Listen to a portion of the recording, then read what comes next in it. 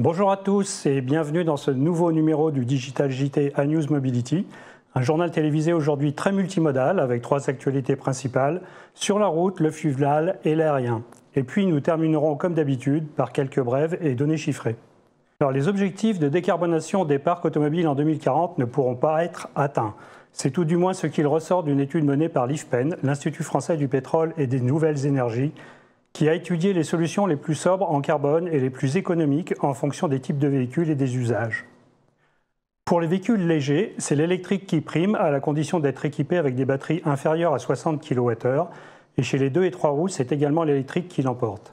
Et pour les véhicules les plus lourds, c'est aussi plus diversifié. On a du gaz naturel et de l'électrique pour les véhicules utilitaires légers, de l'hydrogène, du bio-GNV et de l'électrique pour le transport des personnes, les cars et les bus. Et pour les poids lourds, ce sont les biocarburants et l'hydrogène qui l'emportent. Embarquer toujours plus de batteries pour transporter des tonnes de marchandises n'est pas très logique pour les poids lourds. Et malgré tout cela, on ne pourra pas atteindre les objectifs fixés pour une raison toute simple. D'une part, les nouvelles technologies et les nouvelles énergies ne suffiront pas et il faudra surtout changer nos comportements de mobilité, d'achat et d'usage des véhicules. Le fluvial, maintenant, à la faveur des Français, selon l'IFOP, 87% des Français souhaitent qu'il soit davantage développé dans les années à venir, notamment pour le transport de marchandises en milieu urbain dense. Près de 80% des Français le considèrent comme un mode de transport de marchandises considéré écologique pour 76% d'entre eux et silencieux pour 79% d'entre eux. Mais si le transport fluvial est moins émetteur à la tonne transportée, il fonctionne tout de, même au fioul lourd avec du plomb et du soufre. Il va donc falloir qu'il passe à des énergies plus vertes, notamment l'hydrogène, qui lui convient parfaitement. De l'aérien maintenant, donc voyager en avion va nécessairement coûter plus cher. Le prix moyen du billet a explosé en l'espace de six mois aux États-Unis, comme en Europe ou encore en France. Et les causes sont connues. La demande est plus importante, va plus vite que prévu, il y a une pénurie de main-d'œuvre et une inflation sans précédent depuis 40 ans, qui est nourrie en particulier par le choc pétrolier qui est dû à la guerre en Ukraine. Les compagnies aériennes vont donc avoir des coûts de carburant en augmentation d'au moins 5%.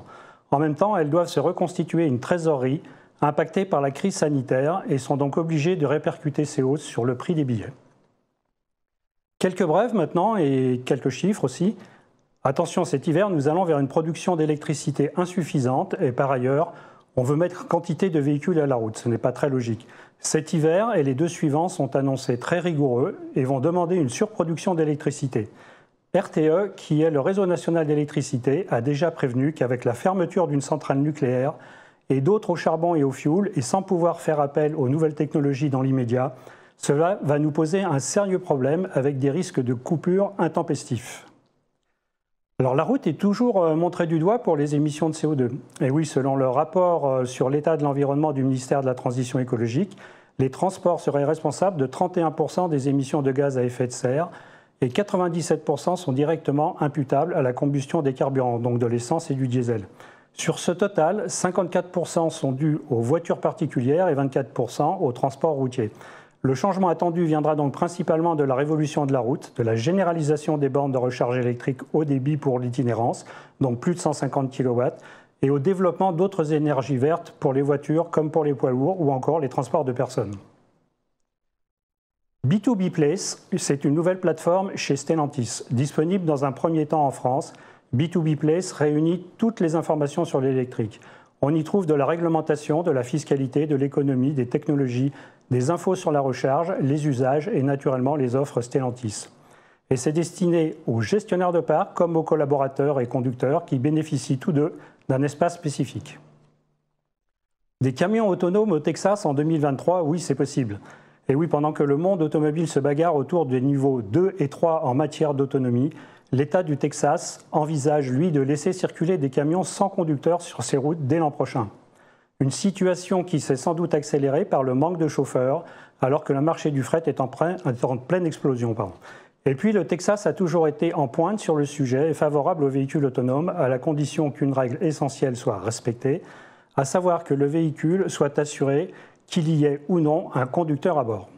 Merci pour votre fidélité et à très vite à travers nos émissions, nos reportages et nos newsletters. Et très bonnes vacances à tous ceux qui partent.